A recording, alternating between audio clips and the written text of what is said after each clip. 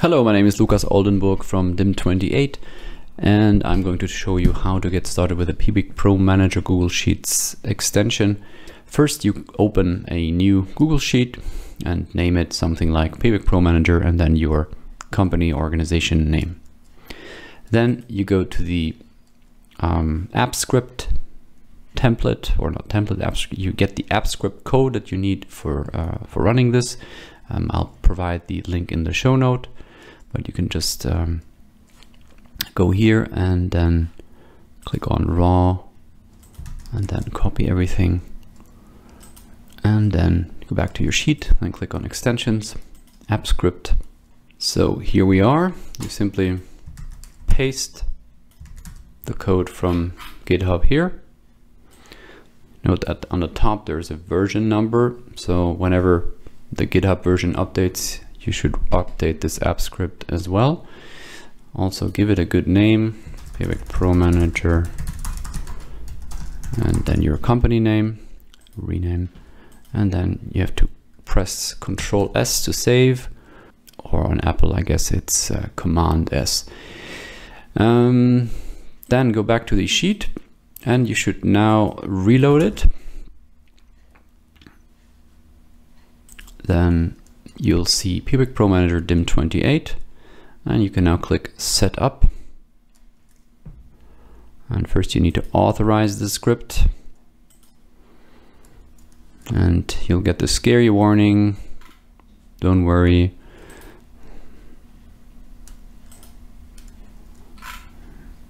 Allow it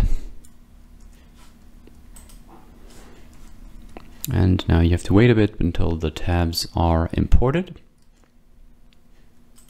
Once it's done, you see this message that, yeah, you have to understand that this tool comes without any guarantee or liability.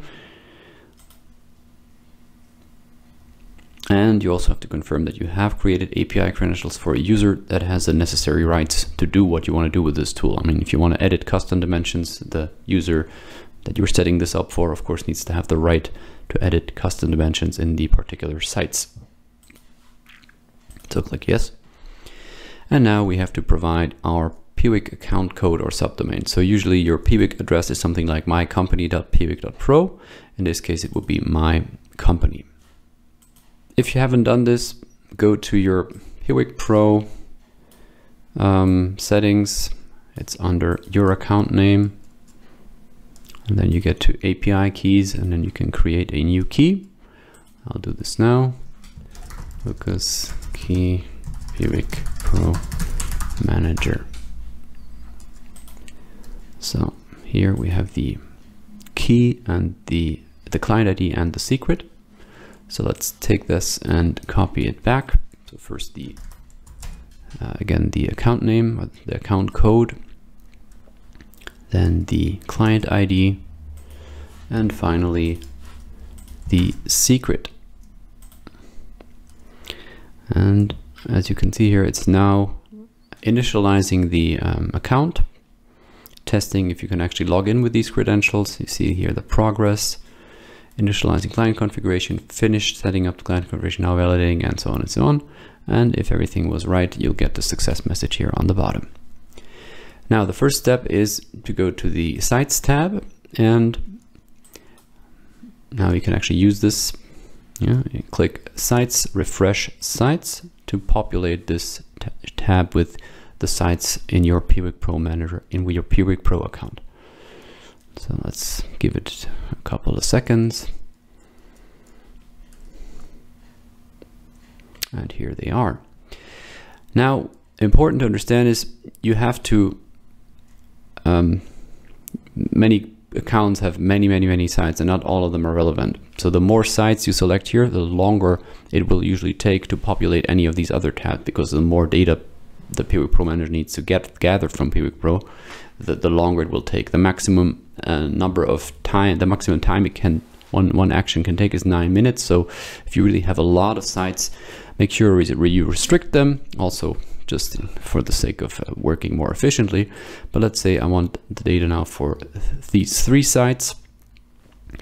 Um, that means the tags, tag details, variables, etc., etc. these um, tabs will be filled with data for these three, th three sites and not for the rest. So now let's run Piwik Pro Manager, um, for example, custom dimensions, click refresh custom dimensions. It will take you to the custom dimensions tab and it will gather the custom dimensions for the three sites that I have selected. Oh, and when it's done, it's writing them into the sheet. Um, in this case, only one of the sites called dim28ch had uh, custom dimensions. These other sites, Lukas testing 2 and testing 3, don't have any custom dimensions yet. So the first step would be to clone whatever is in this first container to these two other sites. So this is one thing you have to do on the sites tab. Everything else is done on the custom dimensions tab. So here in the clone custom dimensions to, I select the sites I want the custom dimensions to be cloned to, two and three. And then I select extensions, Piwik Pro Manager, custom dimensions, sync, uh, clone custom dimensions. I can do this from here or from the sites um, menu, it's the same. So now important to understand, what does cloning mean?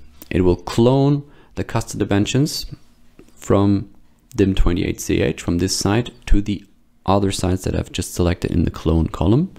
Cloning means that new custom dimensions will be created in the destination sites with the same slot, the same tracking ID, and the name and the settings as in the source site. So this will not work, this will not do anything and will just abort. There's no uh, reason to be afraid. But if your destination site already has a different uh, custom dimension setup, for example, slot uh, one and, and, and uh, tracking ID one is already reserved for something else, then this will abort, this will not do anything. So it works best if the destination sites are still empty or if the current setup of the destination sites is identical to the um, uh, to the source site apart from um, some higher tracking IDs that are still missing. So for example, if you have tracking ID 1 to 10 uh, and uh, 1 to 10 uh, 1 to 10 in the source side and 1 to 10 in the destination side and uh, but the source side also has 11 to 20 but the destination side doesn't have 11 to 20 yet it will create 11 to 20 in the destination side so let's click OK Cloning custom dimensions, please wait. So it's finished. Now it says refresh custom dimension list to see the changes. So let's go back to our custom dimension list and we have to refresh this. Custom dimensions, refresh custom dimensions.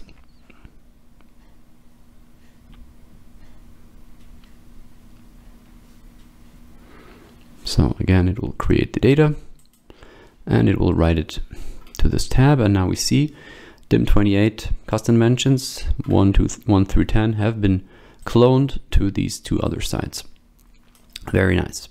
So what if you want to edit a custom dimension? Mm, let's do this for example. Let's give this wonderful name of renamed and this one as well. You see that once I edit it, the edit column gets this yellow edit mark here or and I can also then select sync. So I can again say sync this to 2 and 3.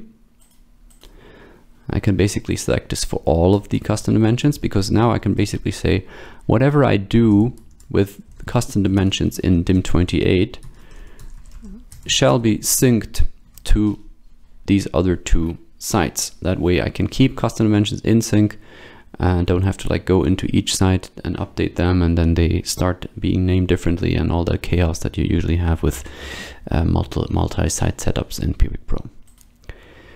So again, I click custom dimensions and then I see edit and sync. So I could also just edit them, then it would just edit it in this uh, dim28 site. But if I say edit and sync, it will edit it in the dim28 site and then later sync the changes to these other sites that I've selected here.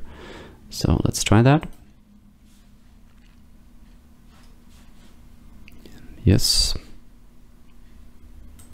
So it's finished the syncing. Now let's see what the result is. We should have, yeah, you see here now custom dimension 5 and 6 have been renamed to renamed in the other two sites as well.